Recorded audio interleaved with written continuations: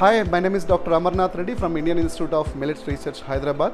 Today we visited uh, this uh, Vaahaa Agro Organic Enterprises. Uh, they are doing very good products, especially they are doing in uh, millet products. One is the health mix, and uh, ne- next one is the Navaratna Atta also.